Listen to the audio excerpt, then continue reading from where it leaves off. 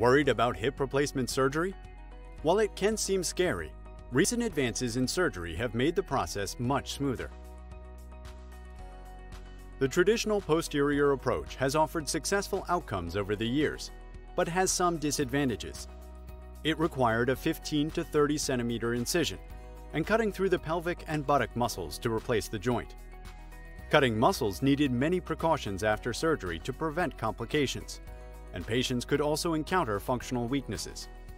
With the new, minimally invasive anterior approach, the surgeon makes a smaller 5 to 6 centimeter incision on the upper thigh, causing less trauma. In this approach, the muscles and soft tissue are moved and not cut to gain visual access. This can mean less pain, a more stable joint, and a quicker recovery.